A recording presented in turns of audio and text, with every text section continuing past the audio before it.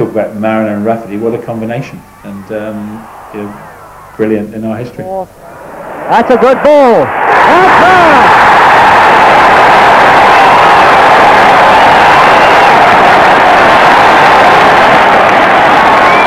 That's Fifteen minutes to go. Dell takes the kick. That's it!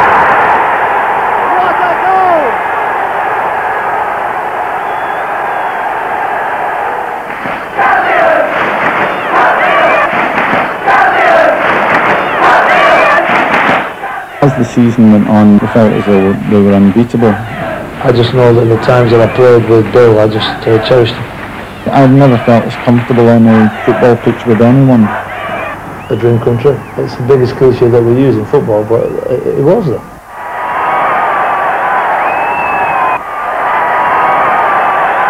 If you find yourself at the back and you want to get through, then get through. As long as you stay outside The previous the season, Argyle reached the League Cup semi-finals, and much of the high expectation was due to a lad signed in 1973 from non-league Chorley. Uh, the big thing about Paul Mariner is he's recommended by a scout called Verdi Godwin up in the uh, north. And um, it suggested that uh, initially Tony Waiters wasn't too impressed and wasn't going to sign him. And um, the story is that Verdi Godwin said, if you don't sign this guy, then um, I'm wasting my time scouting for you. So, you know, I might as well pack up and, uh, you know, you either sign him or I pack up. Tony Waiters used to have this committee thing. He'd have these, because he had a big staff then, he'd have a chief coach, Alan Brown, and who, um, other people. And uh, he'd try and say, well, what do you think, and what do you think, and so on. And the opinion was just by one vote to sign him on. So they signed him on. It was a fluke, really.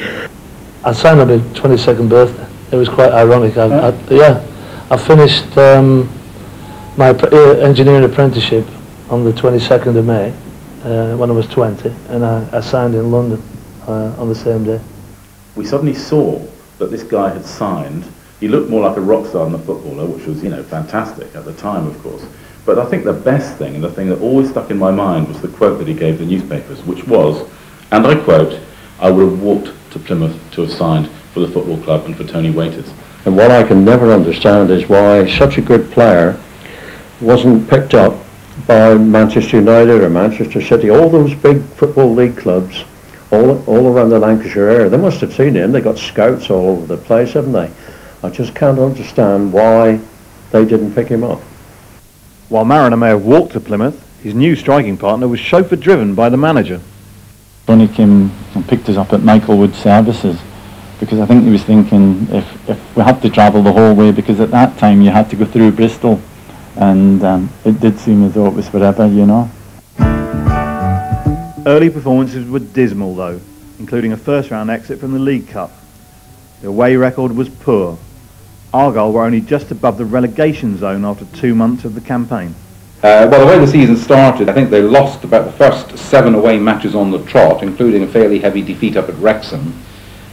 They were winning most of their home games. Obviously, with um, those away defeats, there were certainly no indications that we were on a promotion run. And um, I do remember writing a, fairly critical piece um, at uh, one stage, and the alarm bells were ringing was the uh, the type of the headline that we had, because you know they just did not seem as if they were going to be mounting a promotion challenge.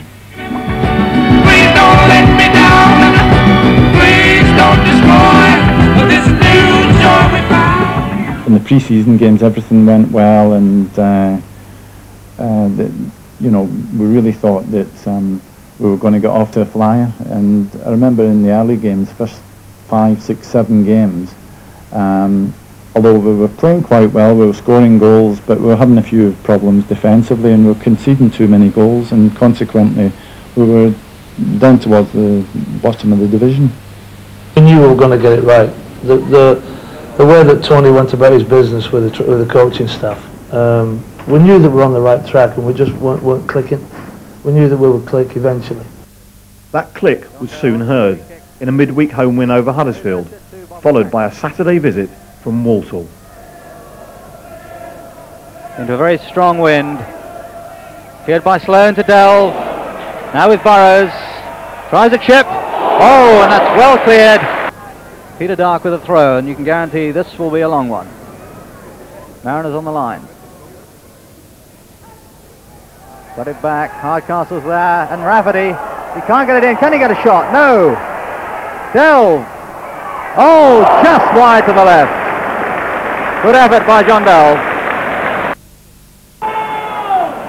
Harry Burrows with the free kick. Trying to Rafferty. That's a good header. Hits the bar. Oh, Argyle is suffering at the moment. Back to Burrows. Gets it in again. Mariner flips back. There's a chance for Burrows. Gets a deflection on the way in with Randall. Has a shot. Oh, well saved again. Randall into the middle. It's turned to Rafferty. Can he turn? He does. Oh, it's a good goal.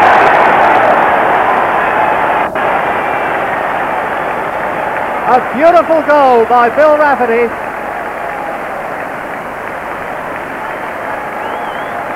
A cross from the right from Colin Randall. Rafferty had it on his wrong foot, managed to turn and put it in. It is Sloan, must have a shot, comes to Buckley, if he can turn. Oh, that's a goal! A goal by George Andrews. Just a minute after Argyle take the lead. Now 1-1. Now out to Burrows. If he can get round Harrison, he's got a chance. Into Green. Delve over the shot. It's a good shot. That's a goal.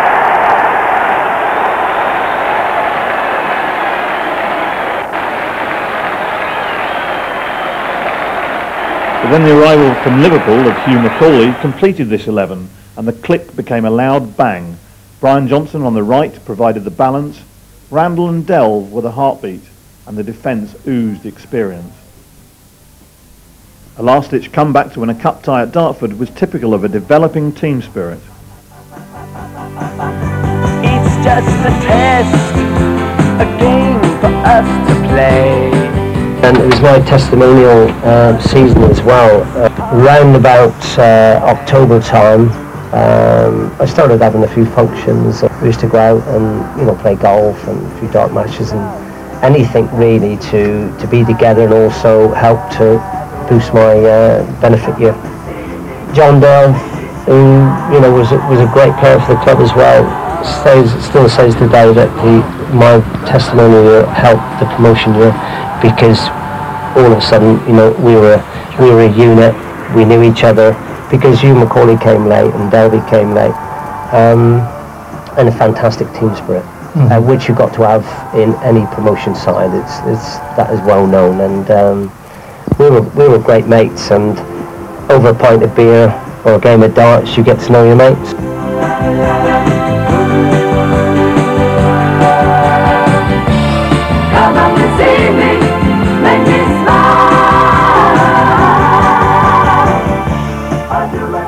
You know, it's all it's all a jigsaw, and it's all all bits and bobs go towards making a good uh, a good squad. And, and there's all there's, there's things that happen along the way that can either destroy your season or, or can make your season. Uh, I don't think there's any doubt that um, the arrival of Huey when he came with his pace, he's very quick.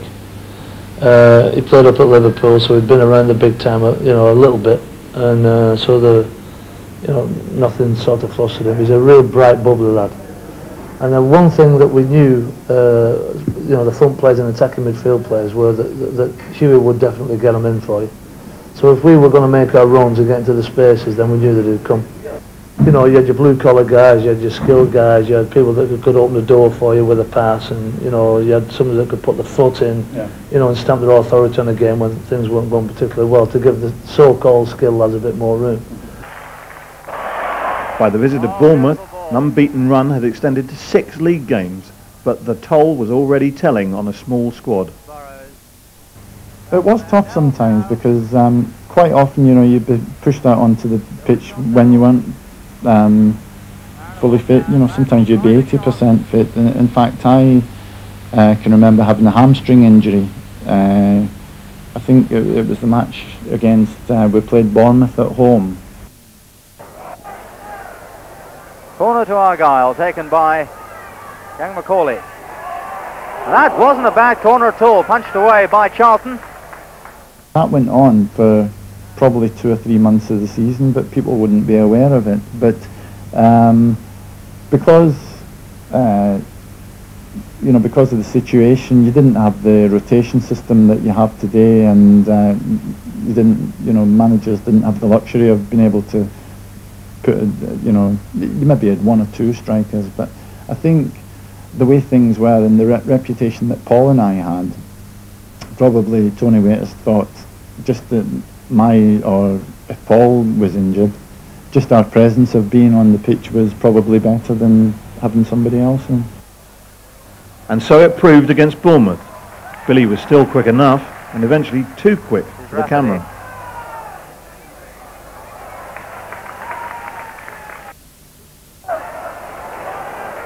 Is Rafferty. That's a beautiful chip in, and Johnson foul. Oh, what a beautiful shot, and what a beautiful save. Johnson Rafferty over the far side, and Delve in the middle, and that's a good ball from Delve. Mariner to McAuley. Back to Delve. They're working well, Argyle now, and Johnson is in there with his head, but it's cleared. He's Randall. Rafferty's there. He's got a chance. That's a beautiful shot. Charlton was beaten. There's his shot. Oh, beautifully saved. Shot from Mariner. Kevin Charlton has kept Bournemouth in this game. That's two superb saves. The corner quickly taken. Burrows into the middle. Johnson shot. It's cleared. Randall out to Hore. This could be dangerous. Oh, well saved again by Charlton.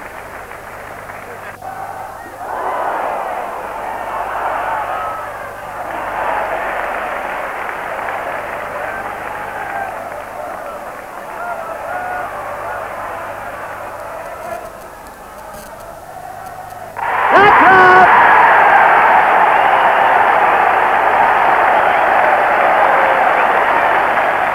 Oh, Rafferty took that so well.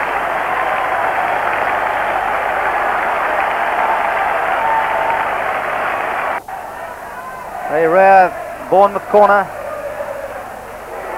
Dangerous. And Furnell did very well to keep that out. Now corner on the other side. This is Trevor Howard. Ball coming out. Oh! Another shot by Alan Welsh. Formerly, of course, with Argyle.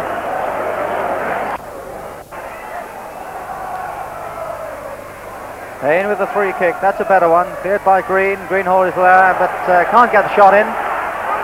No one upfield for Argyle. That's in fact a very good ball to Neil Haig on the far side. He tries a shot and well saved indeed by Furnell. That ball was swirling in the wind. Rafferty going through. He's got round them and he's got to have a shot. Oh, so close. And Billy was often on his knees in training. It was a hard school. Now the picture may get a bit clouded as we go along. Fitness freak. 30, 2 times 15. Keep your head up, Bob. Work from there. Have to point my toes now, I think.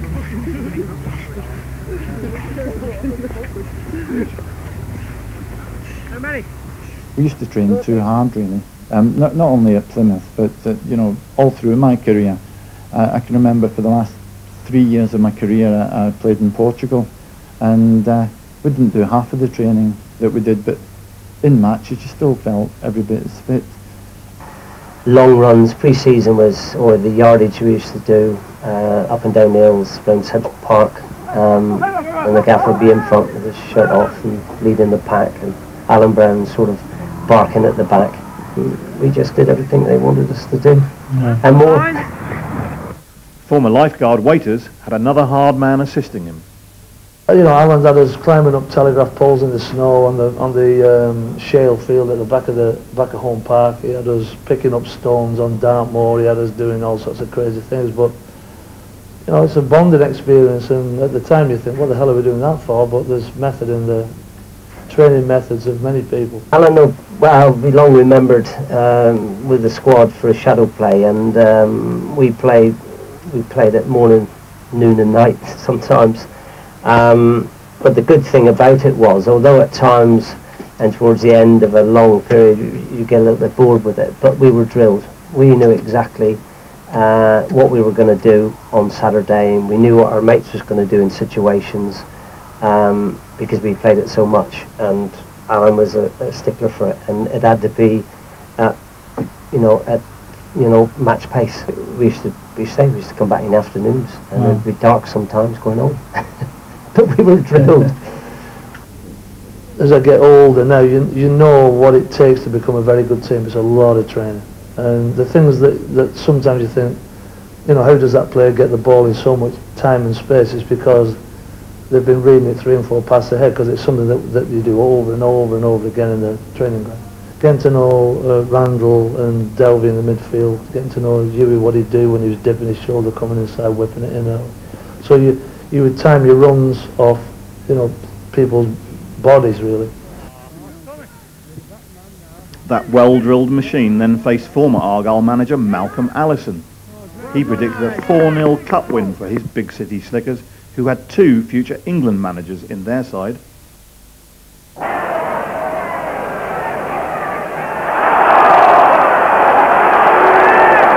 Peter Taylor coming away, handball which the referee allowed to go on.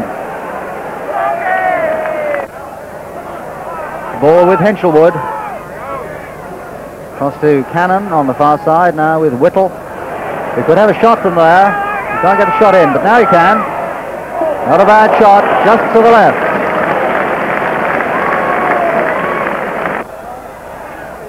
Ball with Paul Johnson. Gets across into Randall. This is with Rafferty. Oh! Rafferty upended by Ian Evans. Mulligan with a free kick. It wasn't a bad one. If Whittle can get there, but he can't. Ian Taylor, Peter Taylor puts the ball eventually into the middle. Cleared by Green to Rafferty to Mariner.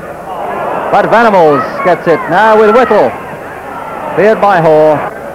Free kick to Palace. That's it!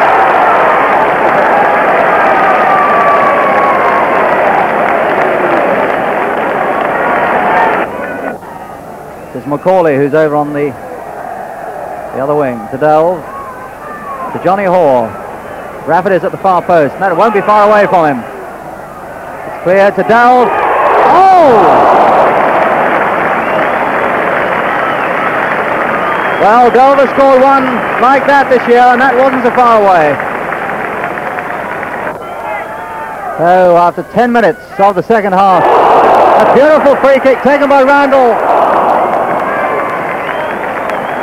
That was a very good kick indeed by Randall, and Burns was only just able to keep it out.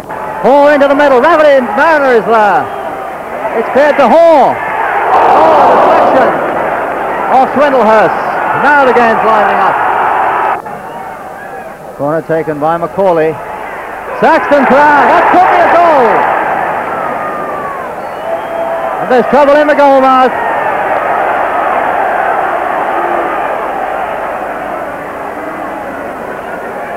Well, the game has been boiling up. We've had an injury to Delve and to Johnson in the last couple of minutes. Saxton went in very hard on the keeper there, but it looked fair. Corner taken by McAuley. Argyle 1-0 down now. 20 minutes to go. It's come to Green.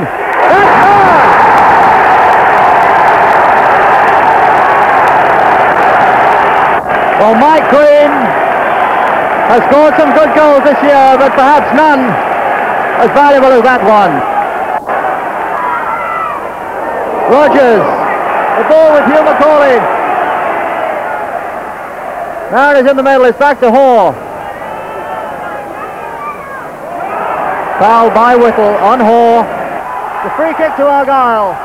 15 minutes to go. Dell takes the kick. That's it!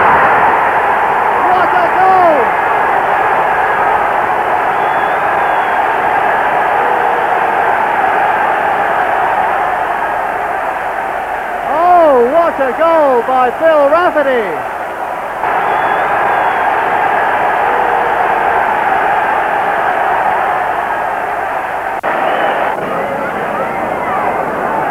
His Bowes with the free kick.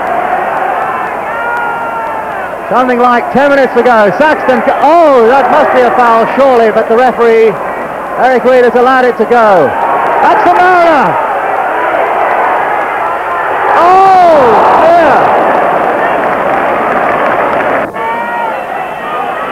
Corner for Palace taken in injury time by Whittle. It's Alan Rogers who comes away. It's four against three. Five against three. This could be 3-1. Randall across to the far side. Swindlehurst is back. Time was almost up. Would Allison be eating his fedora? This is Alan Whittle coming away. Oh, it's a penalty. The last kick. Surely Venables would rescue Big Mel. Penalty. Oh,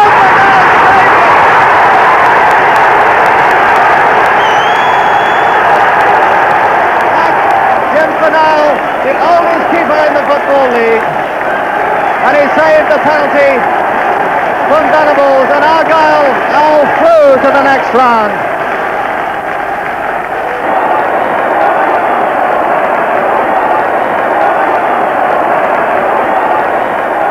You know, it was one one of those uh, happy times that, that you remember. And I remember afterwards in the um, in in the players' bar afterwards um, because you used to always have the FA Cup draw after the match. And I remember listening and.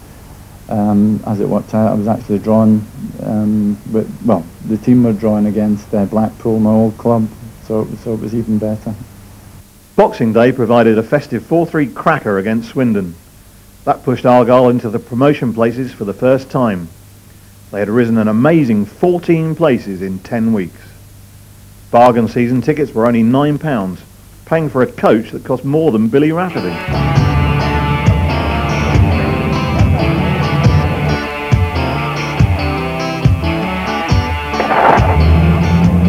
And we think it's very important that we go away uh, to matches uh, prepared to the best of our ability. And we know that travelling, the distances that we have to travel, and I think we probably travel further than anyone else in this country, with, with the possible exception of Workington, I can't think of anyone else, then we think it's necessary, uh, essential, that we do travel in the best possible way. It's not a question of pampering for the players, and you know, I've been keen to point this out. We're not pampering to them. Uh, we're trying to prepare them in the most professional manner. So it's a lot of money, but we feel justified. It's the speculation to uh, accumulate, isn't it? When Liverpool came down at the end of the season, uh, the Trathens coach they consider was much better than the Liverpool team coach. So they wanted to try it, and Liverpool came for a couple of days um, at, at my expense. Um, but the team coach went to Liverpool, picked them up, and brought them back. And was Trathens coach. Yeah, it was a bit flash.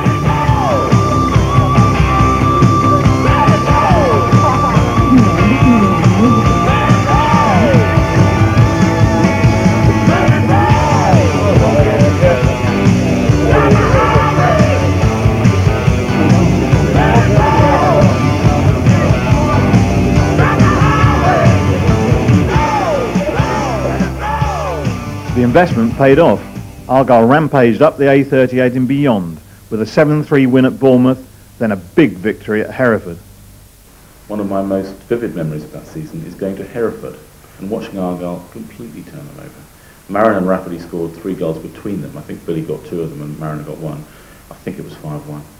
that is always the, the true sure um, you know true test of a, of a team's character um, their, their away performances because I think your, your performances if you're going to get promotion you need to get results away from home as well it was the only time in, in all of my career that I think um, with any other club I, I can never remember scoring five goals or seven goals away from home Back on home turf, fans were up for the cup. It's McAuley. Hardcastle going through, Rafferty on the far post, and that's not a bad one. Oh!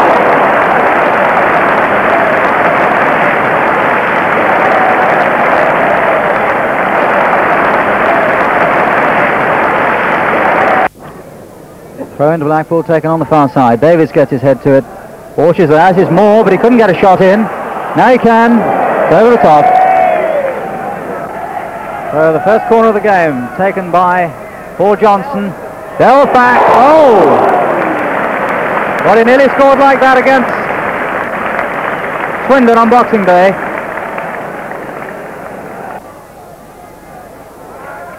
McAuley to Hardcastle, then Burrows.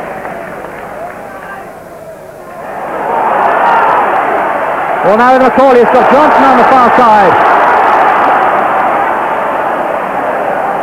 Johnson was in problems there. He had Delve offside. He had to put it back. Ball right across to McAuley. Mariner's on the far post and Johnson's in the middle. This is Rafferty. He's only got one man to beat. And he tries a shot.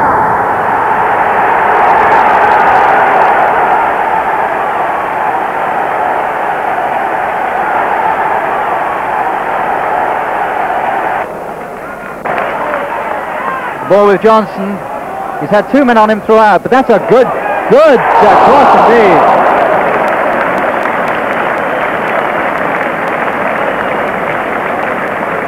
Just over the top by Hardcastle.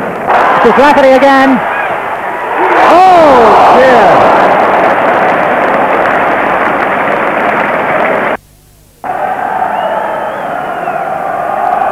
Brian Johnson with the corner. Not a bad one. Dell flicks back. Rafferty. Oh, yes.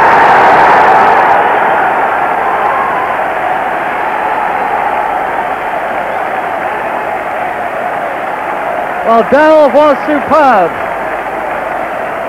He scored a goal like that against Swindon on Boxing Day. He flicked it back. And Rafferty was there to coolly put it in against his old team. 2-0, Argyle lead. 15 minutes into the second half. Ainscough, the substitute Tong. Well tackled by Burrows, who's been very sound in the Argyle defence today. And with Rafferty, Delve in the middle, Mariner up front, McAuley down one wing, and a hobbling Johnson coming down the other. But it's brought away by big Paul Hart.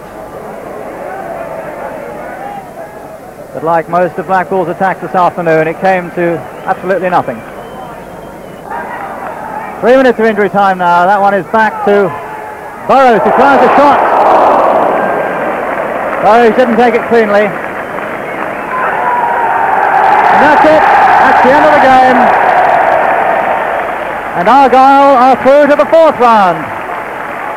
And they've beaten by two goals to nil a side that previously this season had only conceded 10 goals away from home in 13 games.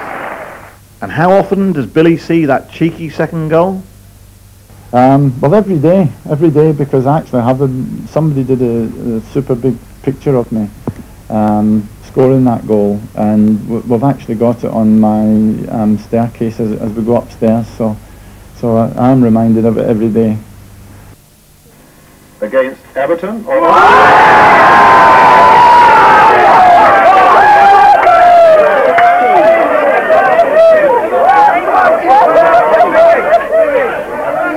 Not every day you get a plum draw though. Another ex-Argyle manager was to pay a cup visit. Billy Bingham and his high-flying Everton. The ticket queues were already forming.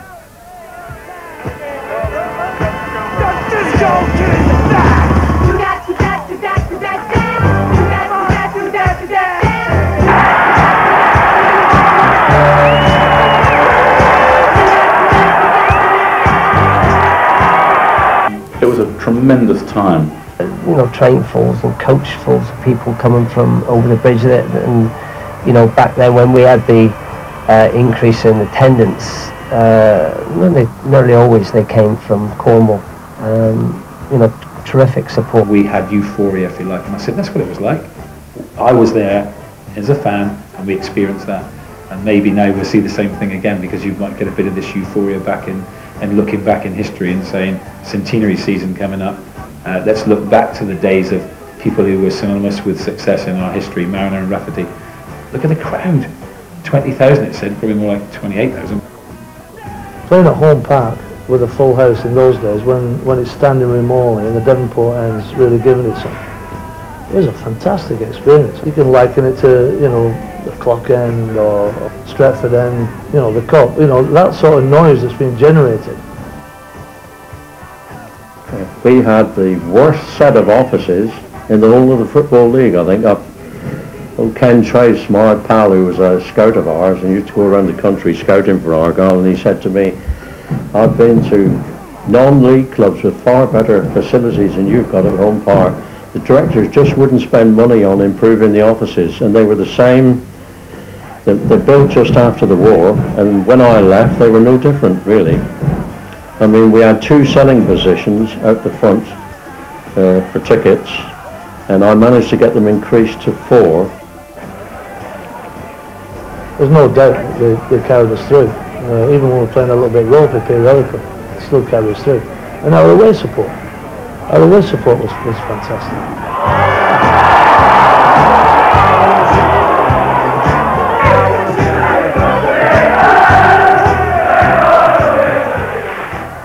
When Everton arrived, they were top of Division 1. Coming for the nod back. More height than distance. Vassallo. McAuley. Rafferty did well. Johnson trying to get it, but Dobson does. Clements. Good running by Dobson. Goalkeeper's off his line and does well, and then loses it, scores. Tragedy for Jim Furnell. He came out to give Dobson nothing to shoot at, but the ball went away from him, and Jim Pearson scores for Everton. But Dobson making a good run, helped by his left half, Clements, and Pearson seizing on the goalkeeper's error.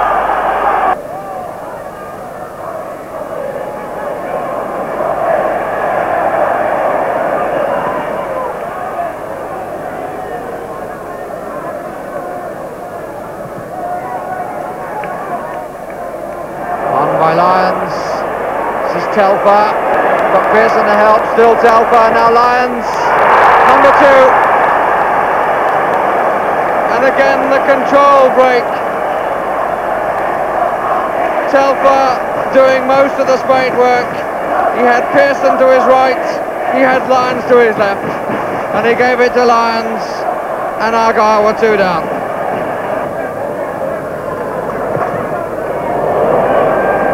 Furnell a bit lucky. Now Randall. Three up ahead of him in Argyle shirts. Good running by Randall. Here's Vassallo.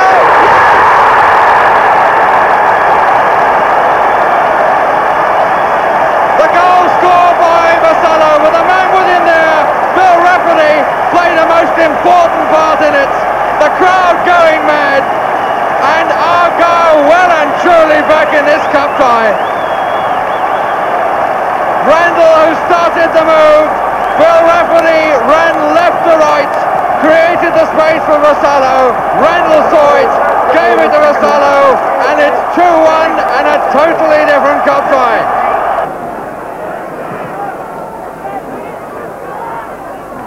Kenyon, good header. Lyons well onside, Furnell thinking about coming out. And he came and was left nowhere. Oh, what a disaster for Plymouth and a delight for Everton. Really came when he had no chance, changed his mind when he got to the edge of the area. And it's been a sad afternoon for the veteran. Delight on the face of Mick Lyons. And that surely is the killer goal. Ten days after the cup exit, and another legendary game. Another bumper crowd was guaranteed, helped by a Saturday win at Watford. Victory would put Argyle top for the first time. Free kick taken by Johnson. A lot of heads round this goes. Oh, just wide. By Green. Offside. Rafferty. Must have a crack. He's got Johnson out to help him. That's a good ball from Rafferty. Good work indeed. Right across the goal mouth. Johnson puts it in. Mariners there. It's coming to Burrows, who may try a shot first time, and he does. Offside, but the referee lets it go. This is Argyle buzzing now. This is Delve. Into the middle. Oh, good effort. Taken by Jones. That was Argyle working well. Corner to Argyle, taken by Burrows. 15 minutes gone in the second half. It's long, but might come to Green. Oh! And on the other side, taken by McAuley. Doesn't quite come to Johnson. Randall. Burrows.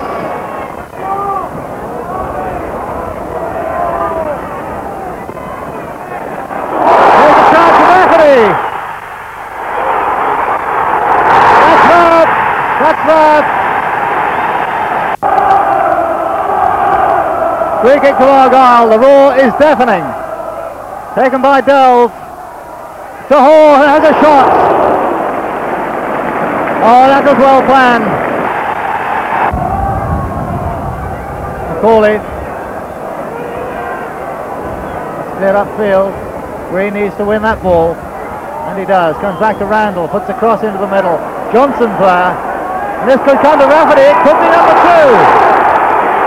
Tries a shot. That's there! Oh, yes!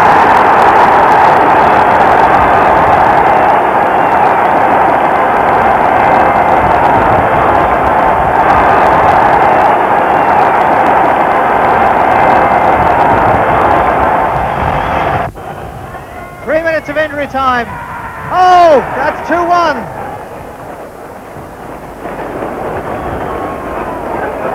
But it's all over. Argyle are top of Division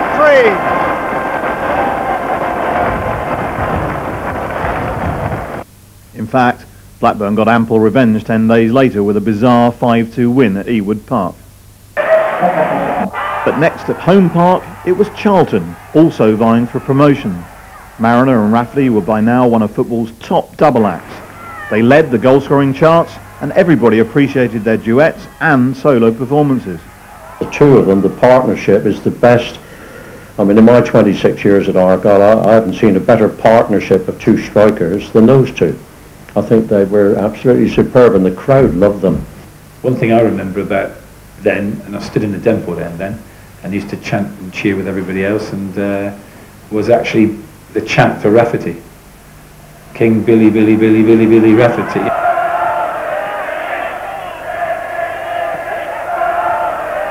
And I can't remember too much from Mariner, to be honest. I mean, I try to wrap my brains and say, well, didn't we chant for Mariner? I mean, we loved Mariner. I would say Paul was more forceful. Uh, he had that little edge with him. He had that extra bit of strength and power. I can remember him sort of his chest out and his head up and good headers. And Rafferty was the chap who would score the goals. A bit like when we had Tynan later on, you know, you thought, ah, Rafferty's going to score here.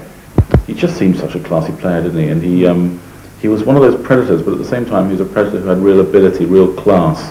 He wasn't um, simply a sort of six-yard box goal hanger. Nothing wrong with those, by the way. But he wasn't one of those. He, you know, was great in the air, had a wonderful left foot, as I recall. But the key thing, surely, about those boys was that they complemented each other perfectly. They really worked together very well as a team, with um, Mariner battering defences and Rafferty sort of sneaking in and just slotting a lot of the goals in. You always had that feeling that no matter what the other team were going to do, that Argo were always capable of scoring one goal more. You could be sort of up against it, and but you knew you had it. You were always in with a shout, and um, you used to say strikers come in pairs, and they were great. They were a great pair. They they were a real handful. Uh, They were both quite big, uh, very mobile. Bill had a, you know, he had a terrific body on him, and he was strong. He would climb. He was brave, uh, and and Paul was, you know, at times a different class. He had a few tricks up his sleeve for getting, you know, he used to roll himself, get him, drop his shoulder and, away. And he's, a very strong, very strong player. And, and so was Bill. I know the club's you know been crying out for years for somebody who's going to score over 20 goals. Well, we had two there who scored 20 goals.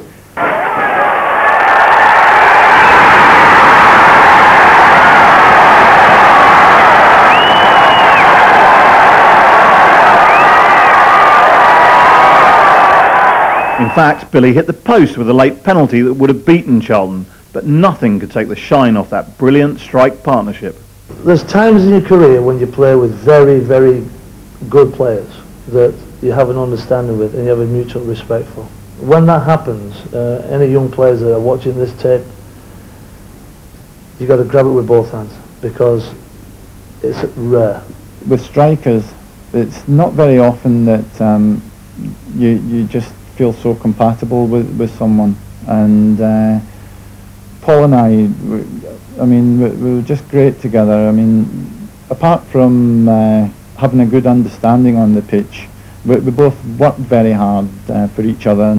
We just hit it off on the training ground. We hit it off off the field. We hit it off on the field. We, we knew each other's runs. The team knew what we were going to do. We in turn knew what the team was going to do. And that was down to the coach, down to Alan Brown, down to Tony about, you know, dr- drilling it into us about pattern. In a lot of ways, we were very, very similar players. Um, even on the pitch, people from a distance would uh, mistake us, you know, for, for one another. And uh, you, you would think with two people being so alike, it wouldn't really be a good match. But uh, it was, you know, I mean, I, as I say, I've never felt as comfortable on a football pitch with anyone. I just know that in the times that I played with Bill, I just uh, cherished them. You see what he went on to achieve in his career. He had a fantastic career and um, played at the very top level. He played for England in the World Cup. Um, you know, I have a lot of uh, happy memories of our time together. Billy and Paul were surely the star attractions for a rare match of the day visit to the lower divisions. to Sutton. Jones. Evans. And again Sutton, number eight. Arfon Griffiths. Showing it to Delve and then taking it past him. Came back to Griffiths who might well get it. Oh, what a superb goal. A little bit of luck, but how much he deserved it. Arfon Griffiths, very much the original article. He took that ball past John Delve. Perhaps a little bit of fortune in the way it bounced back to him. Whittle also getting a touch. But he finishes off beautifully. McAuley. Rafferty in the middle, so too is Johnson.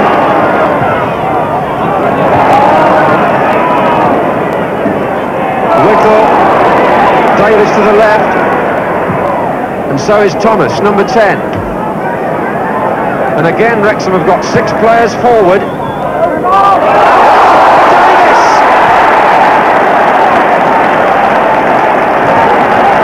And the faces of Green and Furnell tell the story. So indeed is the face of Jeff Davis, his fourth goal in three games, and it could be the one that settles this match. The defensive error was there for all to see, and Davis cashed in. 75 minutes, 4 seconds. 75, Foul, but Tinian has the advantage. Good refereeing again. Four in the middle this time.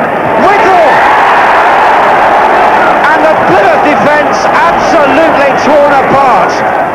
So... I don't know whether it was a case of people freezing because um, they, they were on match of the day or whe- whether they were trying too hard, but we had just one of those days where just nothing went right. We, we gave away some silly goals, you know, and we ended up getting beaten 3-0. And um, I think everybody was devastated because um, at that time, you know, it, it was quite an unusual thing for a third division game to be shown on match of the day.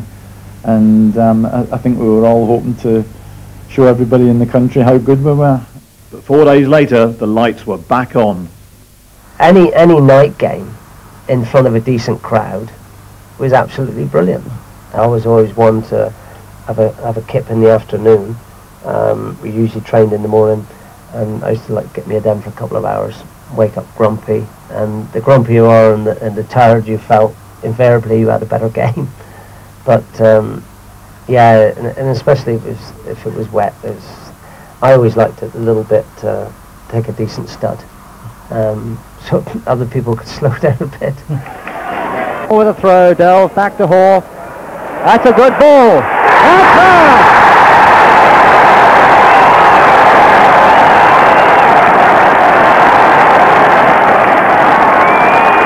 the one Argyle wanted.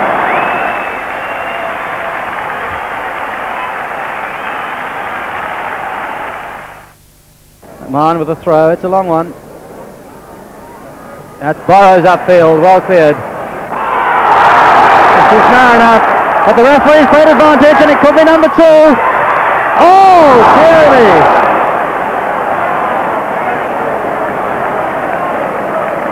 Randall with a throw, finds for McAuley. Back Randall. Got Delve in the middle. He puts it further up than that. Charlton's there defending. That's not a good clearance. Stiles is underneath it. So's Delve, who gets up very well. Green out to Hall. That could be a very good ball for Mariner. Trying to Rafferty. Oh dear. That's a goal kick. Mariner. Johnson flicks it back. Could be dangerous. Right. Oh, that was an offence. Handball.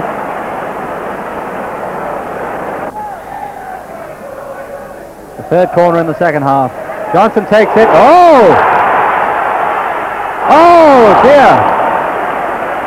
Well, it hit the far post, and Beryl couldn't turn it back.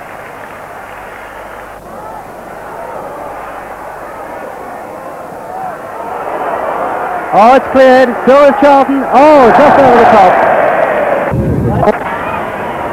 Preston doing a lot of pushing. Could come to Charlton. Oh dear, that's it. The goal scored by Charlton, four minutes from the end. And that's 1-1. One minute in ordinary time. Burrows takes the free kick. Comes across, a little flick. Yes! That's her! Lancashire lad Paul had bagged a brace and the promotion bandwagon was back on the road. A 2-1 win. And if they were ever out of the promotion race after Saturday, they're now well and truly back in. A very tense game indeed. And Argyle won it. 2-1. No concealing the disappointment on that famous face. Free kick by Holikin.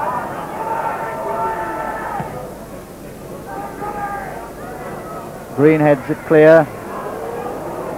And again, to Mariner. This is a chance. Rafferty's there. And Rafferty's got it. He's got one man to beat. And he tries a shot, but well saved by John Forrest. Through ball from Vassallo. Holican brings it away, but that's an error. Now the ball with Mariner. They have a shot. And he does. Oh, just wide. That looks like a goal. Oh dear. Terrible errors in the Argyle defence and Spence, Derek Spence is allowed through and that's 1-0 to Bury. 13 minutes gone. Free kick taken by Saxton. Bill plays the dummy. Salo out to Mariner. This is McAuley. Right down to the line. Oh, well saved by Forrest. Free kick taken by Green is coming to Mariner. Must be a goal. Yes.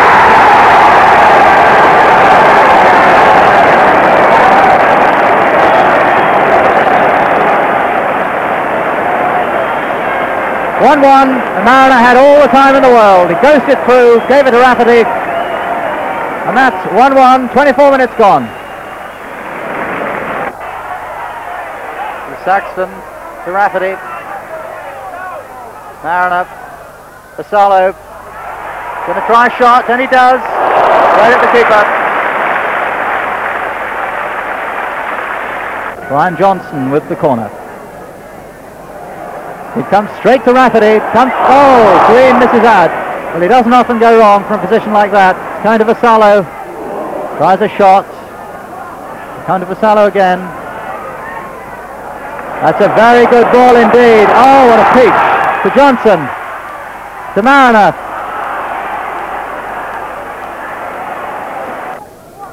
Headed clear by Hore. Billy Rudd puts it back in. Spence is there. Finds Williams. Gets the ball in the middle. That's a dangerous one. Spence and Rowlands are there. It's still not clear. That's a good... No! Just wide by Billy Rudd. It looks a very good shot indeed. A terrible mix-up in the Argyle defence. Brian Johnson got the winner. Argyle stayed in second spot, and a local sage thought that's where they'd remain. Would you uh, like to suggest where Argyle might finish this year? One, two or three? I think they'll be uh, two, you know. I think they deserve to be number one, but uh, I think uh, my prophecy is they'll finish two. And so to the last lap for a squad that had been through a lot together.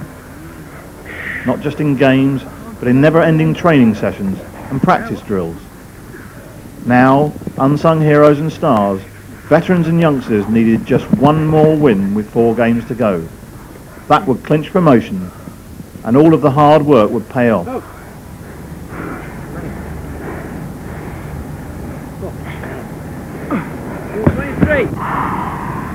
It was one of the nights in Argyle history, Colchester, 1975. Burrows. Rafferty, if he can get inside, try the shot. Oh, and what a shot!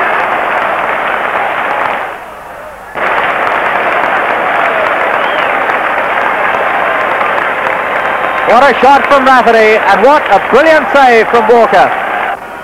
Another corner to Argyle, taken by McAuley. Dells has it back in, pushed out by Walker, who is playing brilliantly. Johnny Hore to take the throw. Two minutes gone in the second half.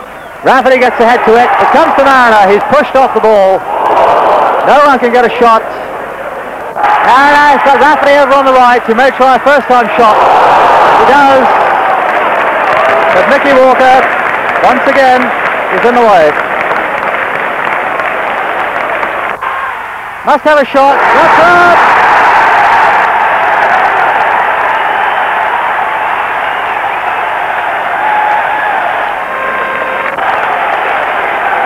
One nil.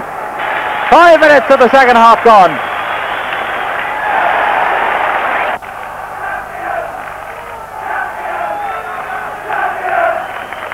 Champions is the chance. Johnson takes the corner. It's another corner.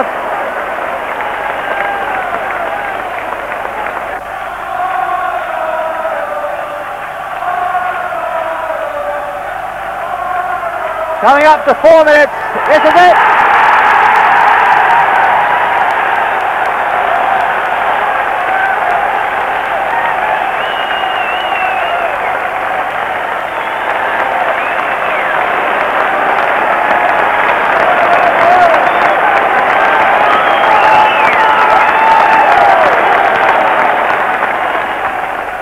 On the pitch at the end with everybody else when we clinched promotion, and um, you do things like that. You, when you sit in the grandstand there, you look down, you think, yeah, I can understand why people wanted to run on at that, you know, because they're so excited and they've achieved a, a goal, if you like, not a goal, scored a goal, but a goal of getting promotion and that sort of thing. So you, you remember all those little things that come back, and you shout in your heroes. They're the same age as you, but they're your heroes. hear this cliche, oh, it was a dream come true. Well, you know, you think about what you would like to do in football as, as a supporter uh, of Plymouth Argyle. You'd like to play for the team. Where would you like to play? You'd like to play up front. You'd like to be scoring goals, right? Because you get all the plaudits and all the headlines. Well, that happened to me. And then what would you like to do? Well, I'd like to play consistently. I'd like to score a lot of goals and I'd like to be remembered as a somewhat of a hero and I'd like to score the winning goal that gets us up into the next division. Well, just put yourself in that mindset and it happened to me, and that I achieved it.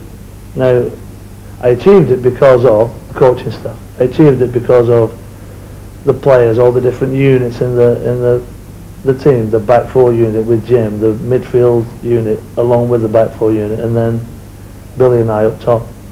You know, so so Billy and I working together, the midfield and Billy and I working together, the whole unit working together, and all the training that, that goes into that. That is the season. It amazes me that people uh, still think about you and still talk about it. You know, I think people have always talked over the years about Mariner and Rafferty and it, and it's lovely to think that uh, they've still got that affection for you and um, it was a, it was a great time.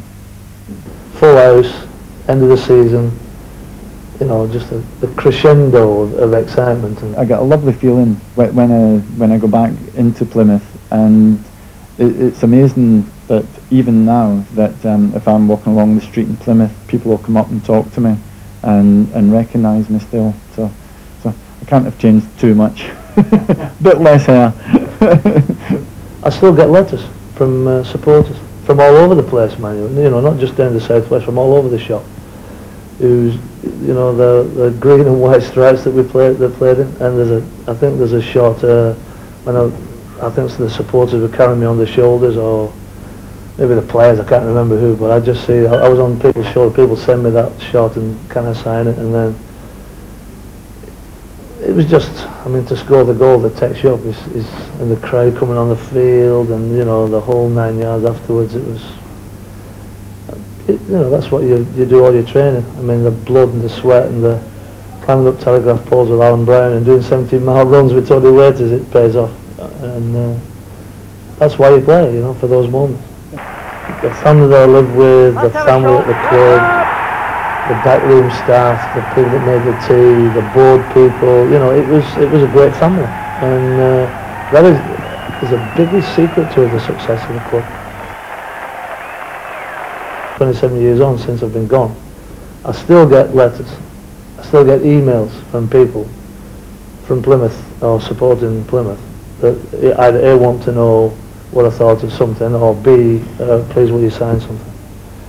And that's great that's uh, in my dotage when I'm I'm 50 now, and you know I'm talking to me, to my kids about it who still live down in the southwest. It's nice. It's a nice warm feeling.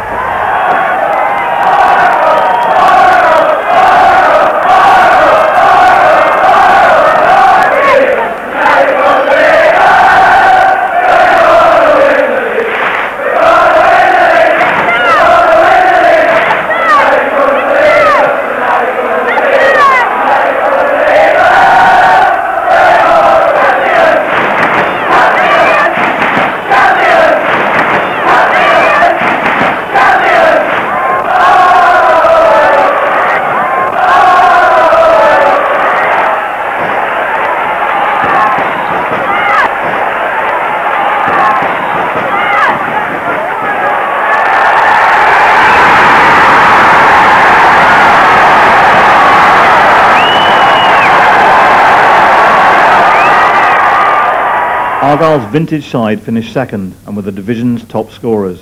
Like the strikers, Furnell and Green played in all 46 league games. But it will always be known as the Mariner and Rafferty season. Their names were everywhere. It's funny, you know, a friend of mine at that time, um, his wife bought a couple of kit- kittens, excuse me, kittens, and um, they were named very, very quickly Mariner and Rafferty. And that combination of Mariner and Rafferty lasted about 18 years. Now I think if the real Mariner Rafferty combination had lasted 18 years, God knows where we could have gone.